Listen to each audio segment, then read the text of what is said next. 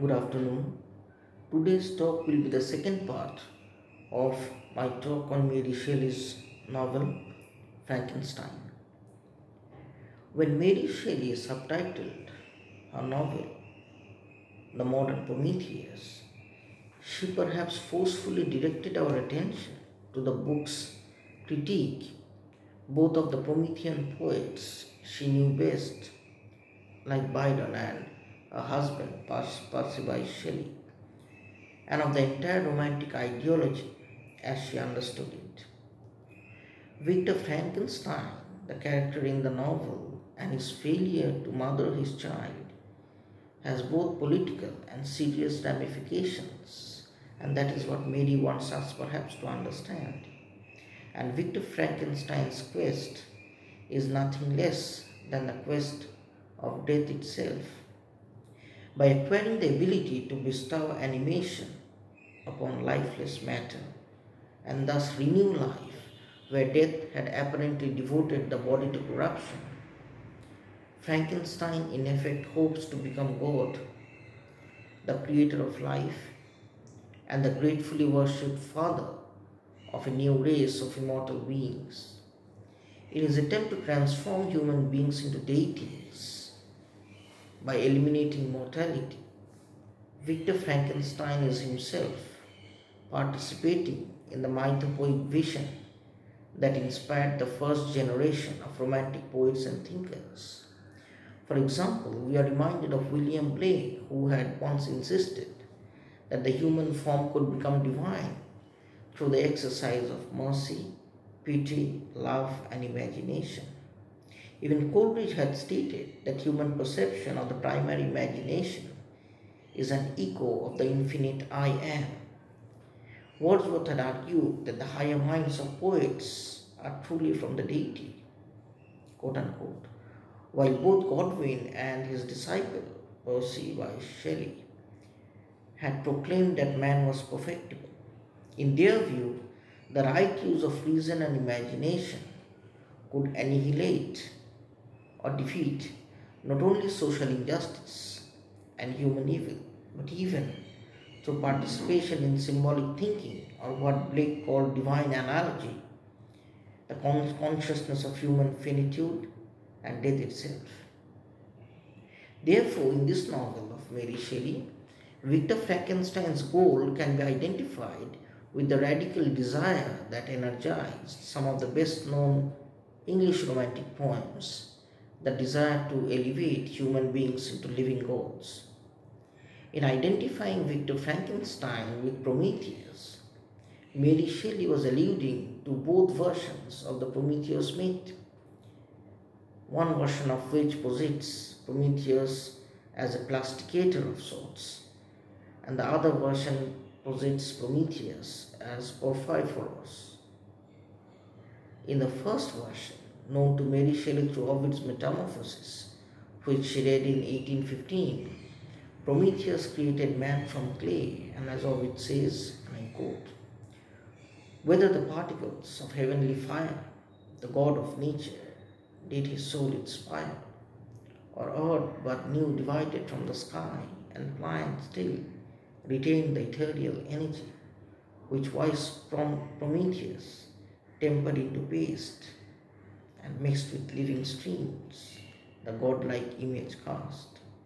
From such root, principles our form began, and art was metamorphosed into man.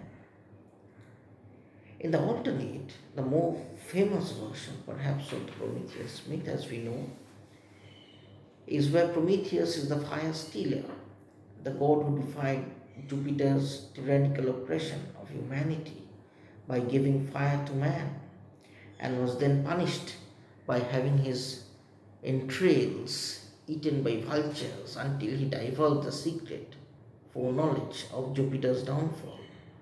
By the 3rd century AD, these two versions had effectively fused into one the fire stolen by Prometheus became the fire of life with which he animated his men of clay.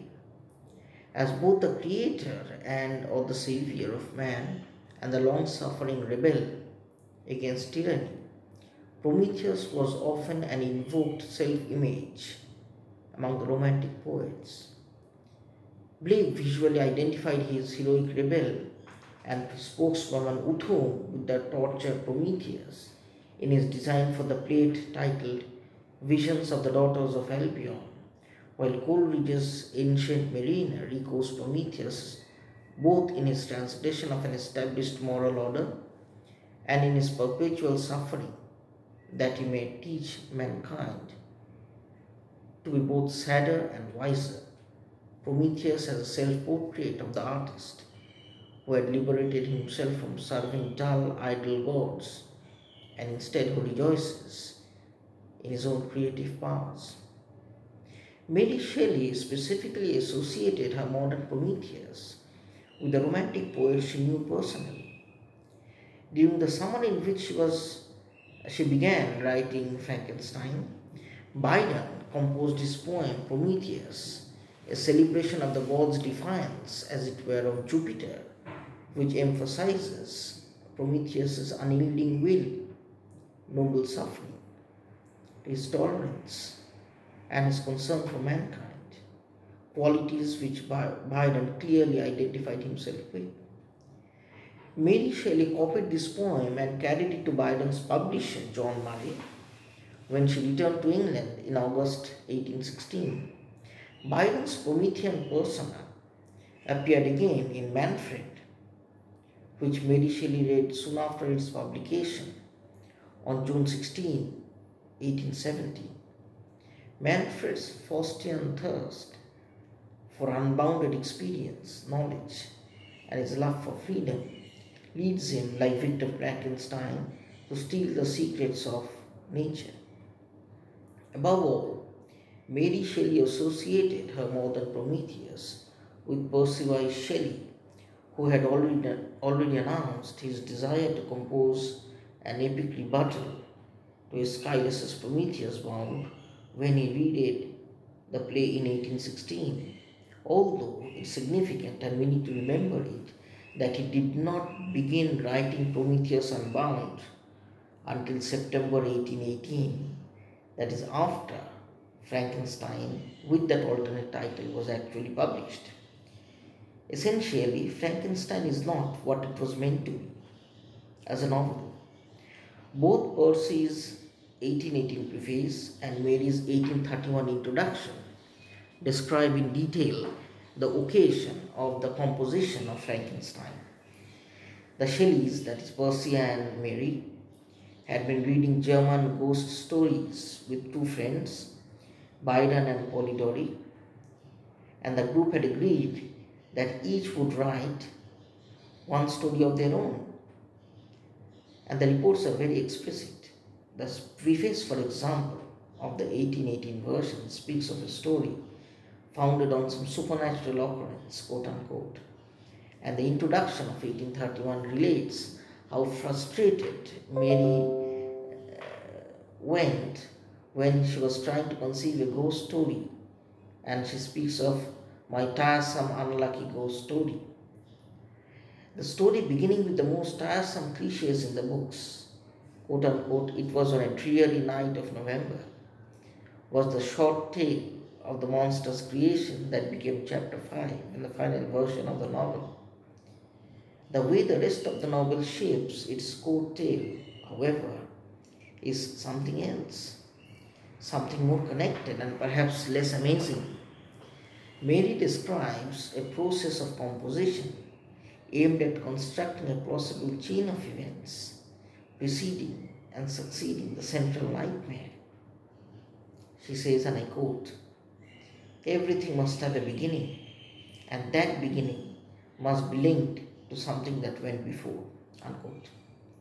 Her three narrators, the explorer Walton, who seeks a passage to the North Pole despite all physical and human resistance, the scientist Frankenstein, who irresponsibly creates a living being, then dishonors his solemn promise to create a partner, and the monster, who lacks nurture and self control, are emotionally disordered, but they are not mad. There is another critical issue that needs examination in Mary Shelley's Frankenstein. If the novel is said to be supernatural, as many of the initial readers or critics have approached the novel to be, then what is supernatural about the plot of Frankenstein? Or where does the supernaturalism in Frankenstein lie? Originally, the word supernatural was a religious term referring to gods and angels, and the religious or the mythic sublime persists in discussions of the Gothic novel as well, as in the work of Wilton Day. Sometimes in Frankenstein, supernatural does mean magical, as it regularly does, for example, in the works of Radcliffe and Godwin. But this was still probably not the common sense of the term. At least, the earliest ambiguous instance of this sense recorded in the Oxford English Dictionary comes from Walter Scott in 1830. Until then, the word seems typically to have implied exceeding rather than violating in Kantian terminology, mathematical rather than a dynamic sublime. So, at first appearance, a monster is said to be of gigantic nature, quote unquote, at 8 feet, though indeed Mary Shelley speaks of 7 or 8 feet in the original manuscript. Uh, that was evident in the notebook. We would have to call it impressive rather than titanic. The monster does leap across vast chasms of ice and is capable of scaling the overhanging sides of Mont Saleve it runs with greater speed than the flight of an eagle, for example, or with more than mortal speed, as Mary Shelley says, as he says at another. Yet it's hard to know exactly how much to credit these turns of phrase. When wrestling with Felix de Lacey, the monster reports being grabbed with supernatural force, yet remains confident that it would tear Felix limb to limb, quote unquote. Here, supernatural clearly does mean a lot. The monster's physical accomplishments seem clearly disproportionate even to its usual stature. But they are supernatural only in the, only in the older and weaker sense of the term. Quantitatively impressive, not qualitatively alien. In short, Frankenstein the novel is supernatural to the extent that it takes the form of a charmed world. The world in Mary Shelley's novel is clearly charmed. It's, in a sense, unnatural, or rather supernatural. Its representative landscapes, for example, the far north, the high altitudes, the remotest corners of Europe lie beyond ordinary human experience. Humans are subject to limits, as Walton perhaps is in the. But Frankenstein and his monster are different. Whereas picaresque novel, novels travel roads and realistic novels, as Stendhal famously said, learn to mirror highways. Frankenstein's journeys are incipient or terminated, not in the process. Even Walton's adventure proceeds by seven league boots with the epistolary form encouraging a record of accomplishments rather than enterprises. His first letter from St. Petersburg, for example, says, and I quote, I arrived here yesterday. These are his exact words in the letter.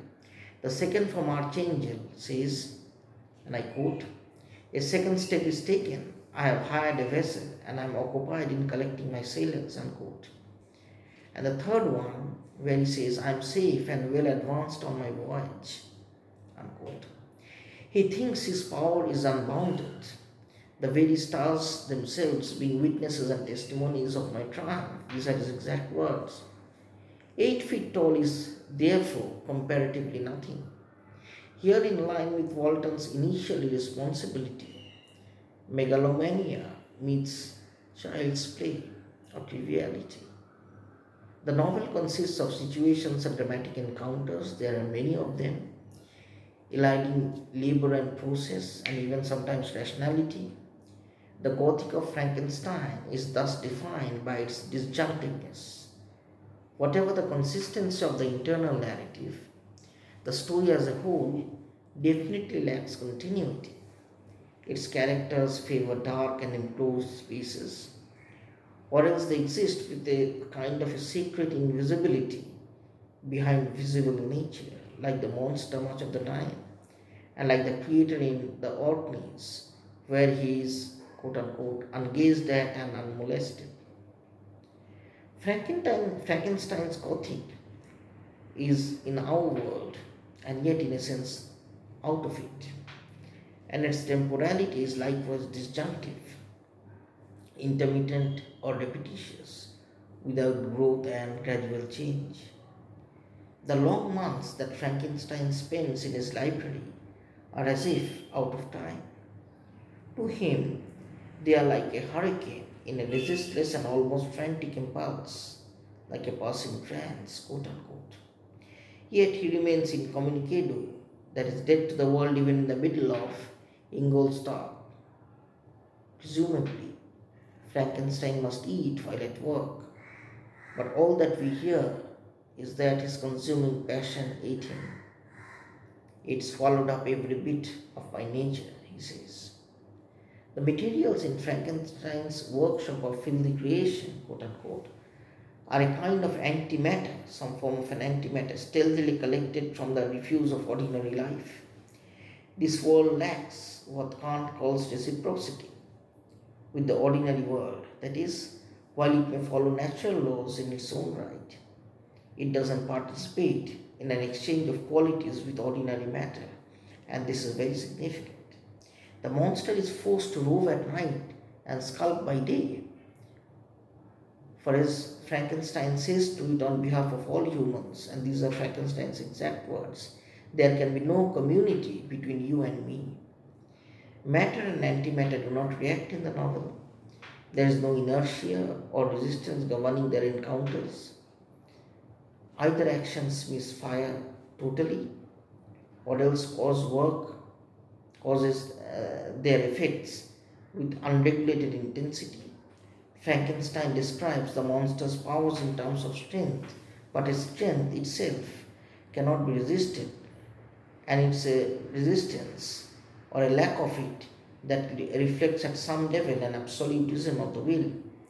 Hence, the monster isn't pure physically, as Frankenstein insinuates a number of times, but pure volition.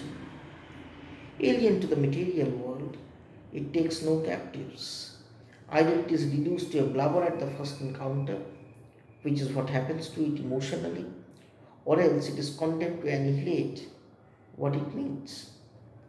The book's effective axis is a matter spirit relation, shunning any potential pun on chaste quote unquote, and lying perpendicular to the nature magic axis.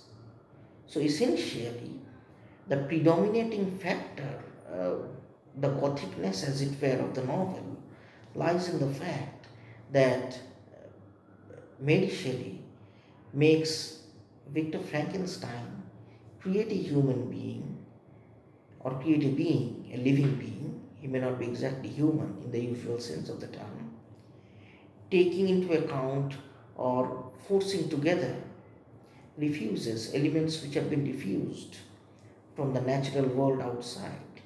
And therefore, since it is made out of everything that is diffused from the natural world, it had to be unnatural or perhaps supernatural because it did have certain powers which go beyond human ability. The other aspect of it is, in Kantian sense, Frankenstein's monster is a product of a clear violation of reciprocity that lies at the heart of the natural world. And this reciprocity or its lack of it is the reason why Frankenstein's monster and indeed most of the incidents that revolve around the monster is unnatural or supernatural to us. This is all that I had to tell you in my second talk on Mary Shelley's Frankenstein. Thank you.